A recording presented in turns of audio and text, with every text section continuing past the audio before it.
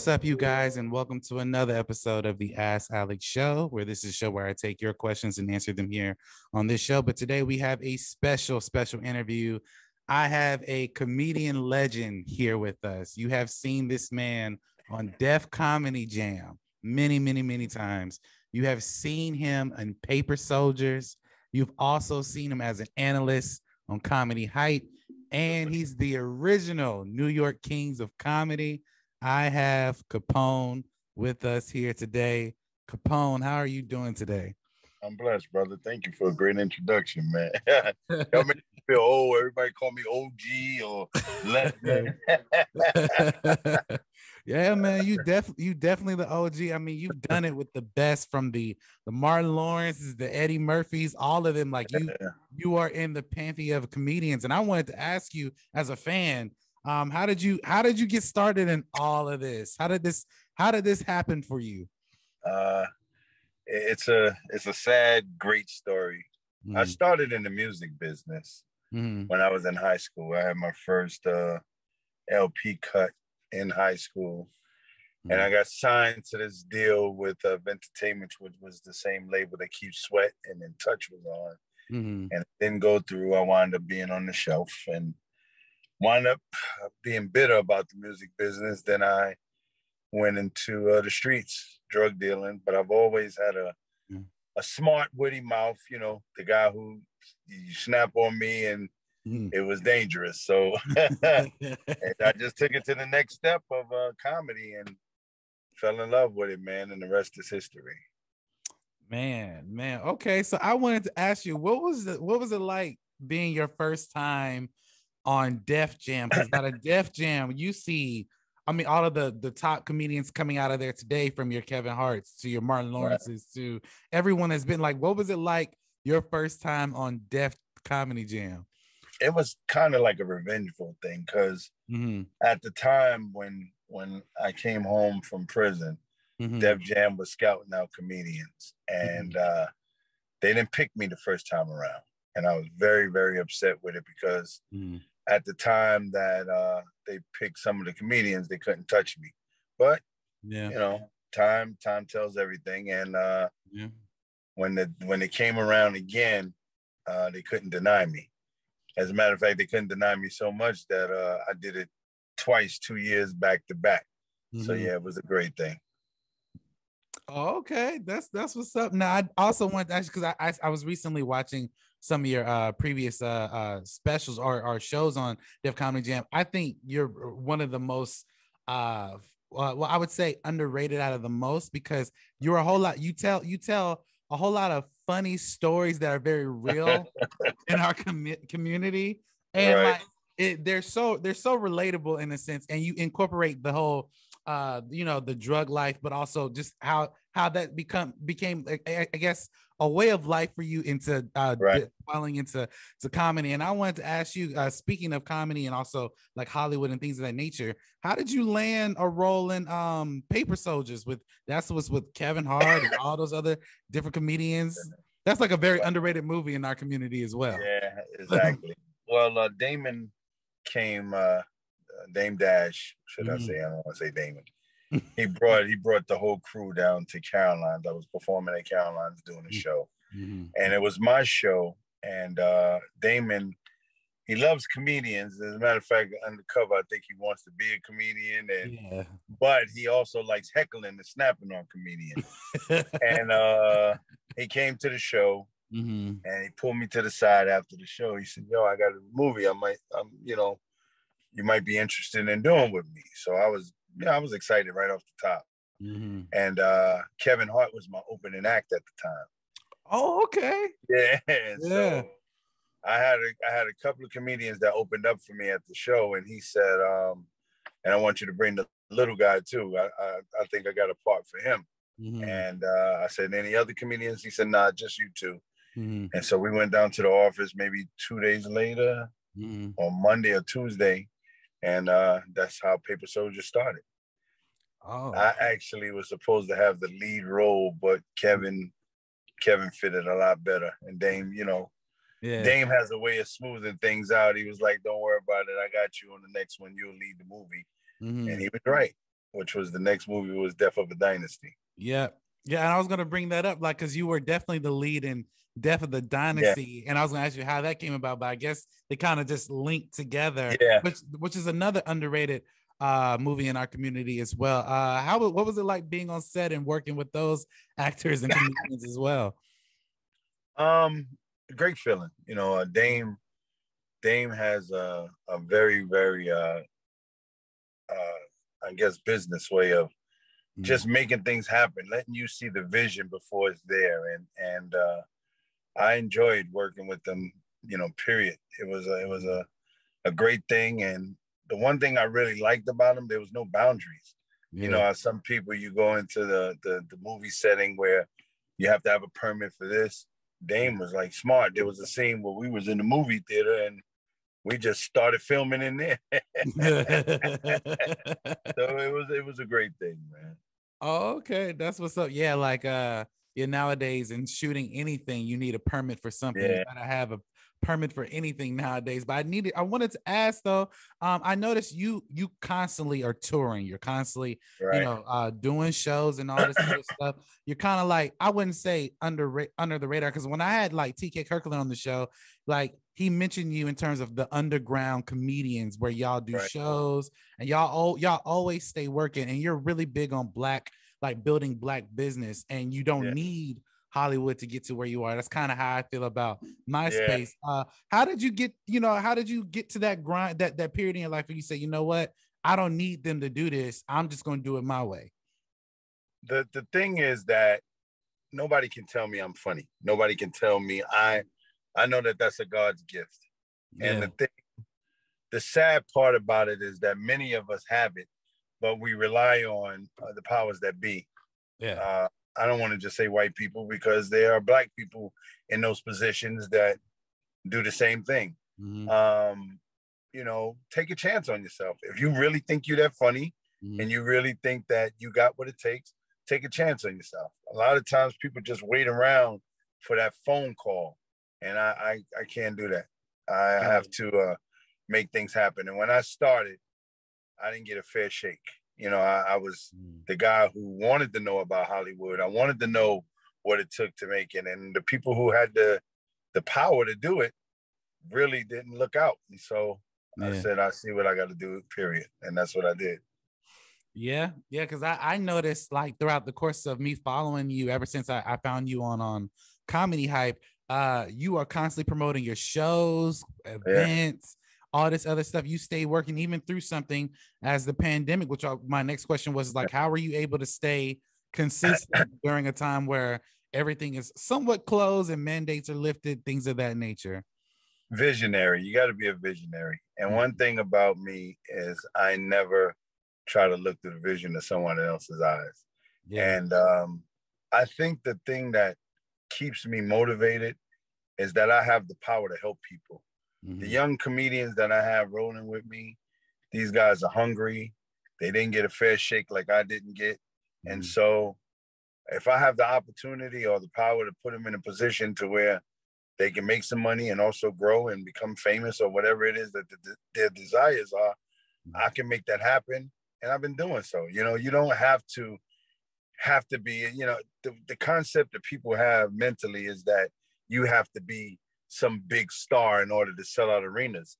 And. I've been selling out my shows and everywhere that we went because I believe that, you know, you give God a chance and he's hungry, he mm-hmm. gonna do the right thing. And that's yeah. what I've been rolling with my guys with. Yeah, yeah, and I noticed that in some of your, uh, well, in all of your shows, really, that whoever's opening for you or with you, you always give them the spotlight before you touch that mic. But I will say, yeah. uh, because uh, I've been, I've been to one of your shows in Atlanta, can't nobody follow you, bro. like, like, it just, I mean, because it's a it's a whole nother. Like I feel the same way about TK. When people try to follow him, I'm like, nah, yeah. I can't, I can't, I can't really see it, you know. So, right. but I I wanted to ask, man, like um originally when Comedy Hype reached out to you, you did an interview with them. Um, and then now you are actually analysts on Comedy Hype. So right. how did that come about? Uh, you actually being a full time uh I, I, guess analyst on the on yeah. the show well um a, a, couple of things took place one the creator John had a vision, and mm-hmm. he put me in the vision.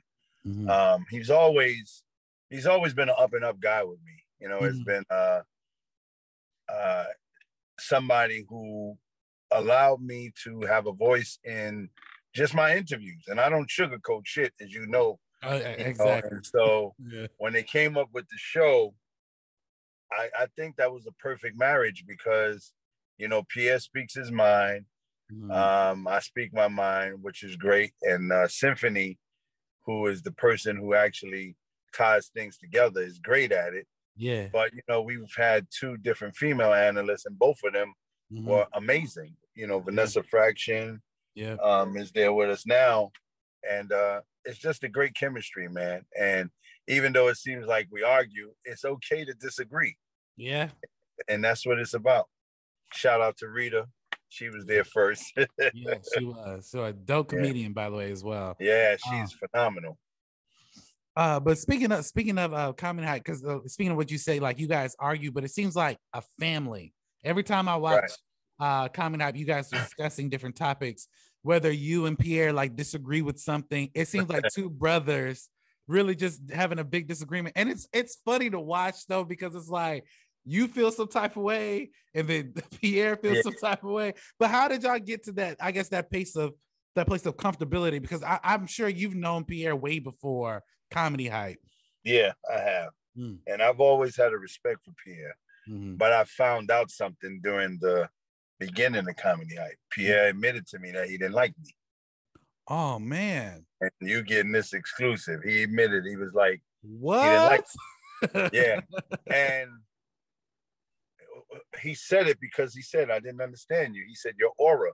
Mm-hmm. I have a very confidence aura about myself. And mm-hmm. sometimes mm-hmm. that confidence can come off cocky to other people. Mm-hmm. And he said he really misled me. And mm-hmm. we talked about it. And I was shocked because, you know, I had no bad, nothing bad to say mm. about him. I always respected his comedy. I respected what he was doing back when he was doing it with the movies. Mm-hmm. And when he said that, it shocked me, but I definitely appreciated knowing it because you don't want to go into something and there's hidden agendas there.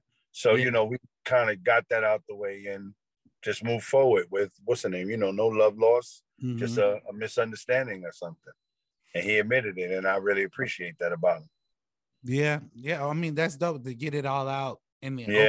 that way now because it seems like now y'all are just always like cool and you know oh, yeah. giving, giving yeah. each other you know uh good advice but i wanted to ask uh which kind of you kind of use comedy hype in a sense to parlay what you're all also doing in the in you know right now in the future and things of that nature and you are part of the original new york kings of comedy how did that group come about because i know at one point like i don't know like was there an interview you did with comedy hype where I guess y'all had some issues, but y'all worked things out. Like, oh, that was. It's been three different groups of the New York Kings, mm-hmm. and uh, uh, the original players are Talent, Rob Stapleton, Gerald mm-hmm. Kelly, Drew Frazier, mm-hmm. and myself. Mm-hmm. And uh, some things happened, and Gerald was the first, uh, you know, to leave the group, mm-hmm. and then uh, Drew left the group, and then we uh, put on Mark Viera, who is like the Latin sensation, a mm. beast of comedy, and uh, it's been, you know, it has its up and downs when you got four guys. The mm. things that we used to deal with when we were younger, we don't deal with, with anymore. Yeah. But it, it's still there are some issues that still remain there because, I mean, hands down, it's hard to touch any one of us when we're on stage, especially as a mm. group. But you know, people are not hiring that. They're mm-hmm. hiring, you know, the the the the, the uh I guess the best way to put it is the internet guys. Yeah. You know, so it's a, it's a difference. And when you got four veterans and they look as you know, they try to make you feel old. Mm-hmm. It's it's crazy until you see it on stage and you see the magic, and that's when everything sparks back up. Yeah, yeah, and um, it's funny that you brought up the internet, guys, because there's a lot of internet comedians who are skyrocket. They're like some of them are wilding out, and some of them yeah. are just doing their own thing. I wanted to ask you in this new age of comedy, um, because I, I I can tell even as as a 29 year old, there's definitely a stark difference. But would you say it's a little bit more, I guess, easier to get into this genre than it was when you first started? Because it's like if you have an Instagram and you're somewhat funny, you just blow up within like months, depending on who you are, you know. Well, it depends on what you consider blow up. Because okay. a lot of these, a lot of these guys, and I don't, I don't knock them. And the reason I don't knock them is mm. because there was a time I was one of them, and not an internet guy, mm-hmm. but the Richard Pryors and the, the, the guys who before me mm-hmm. felt that Def Jam made it easy for us to become successful yeah. because they didn't have Def Jam. Yeah. So they was like, yeah, y'all guys wouldn't be shit if Def Jam didn't put y'all all out and all that. Mm-hmm. So I respect what they do. It's hard work. And um, my thing is, you know, I'm not here to judge anybody. Whatever floats mm-hmm. your boat, it's, mm-hmm. it's you have to look at it different ways. I'm a businessman. And if mm-hmm. I owned a comedy club and you ain't funny, but you can put a thousand people in the seats, mm-hmm. I'm gonna have you at my comedy club. That's the bottom line. I mean, hey, yeah. At the end of the day, it's business. You know, like yeah, that's what it is. So I mean, I, I I definitely understand that. But yeah, yeah, man. But uh, I'm so glad I was able to have you on the show last year. Like I was telling you off camera before, um, I had Pierre on the show, so I was glad to get you on the show as well. Um, uh, before we wrap uh, the interview, I wanted to ask, uh, what are you what are you doing in the next few weeks? I see you got a couple things lined up um in I'll different cities. Yeah, I'll be in Houston, Texas. Mm-hmm. I'll be at uh, uh, Levity Live, which is uh, with the New York Kings. Mm-hmm. Uh, the team Capone will be in Houston uh, this coming weekend, and uh, man, it's just so much going on. Mm-hmm. So much, you know. We're trying. I'm trying to. Uh, I'm trying to be the first one to get these young guys to get a Netflix special without having any kind of mm-hmm. of uh, what do you say? The best way to say it is they don't have any credits. They never oh. been on TV. They don't have no commercial, and so I'm trying to sign a deal where I'm able to get my young guys a Netflix special and uh, mm-hmm. you know make it happen, man. Because that's the way to be, man. You gotta you gotta help people out in order to help yourself. And if I didn't have these these hard hitting young dudes mm-hmm. hitting the stage the way they was, I'd probably be a mediocre. But since they mm-hmm. are coming hard, I got to keep it hard. And yeah, it's been great. Oh man, that's actually uh, really impactful to hear that uh, we see an OG doing something for for the young guys and like you know like you said like if you can be that voice for them and you know that that totem pole for them who knows what could happen. So yeah, man, I, I definitely will support it. I definitely love your comedy, man. But um, I want to thank you so much for being on the show. Where can we find you on um social media and also where can we find you on Comedy Hype? uh Comedy Hype comes on every day. Mm-hmm. Um social media, hit me up, comedian Capone. I answer my own things. Y'all know Mm-hmm. I'm not with the Hollywood bullshit. And so I'm a real dude. Just keep it positive, man. I don't want no negativity, mm-hmm. no bad energy on my page. I'm a very, very spiritual person, and I believe uh, whatever you want in life, man, will come true. All you got to do is ask for it and work hard for it. I know that's right because I know at one point I never thought I'd be talking to a comedian Capone, look what happened. Like if this right, if this if this is not a testament that God isn't real, God is very real. God is very very real. But I want to thank you so much for being on the show, man, and thank you guys so much for watching. Please like, comment, and subscribe. Go follow all of us on social media, and also you guys, thank you so much for watching, and have a blessed day.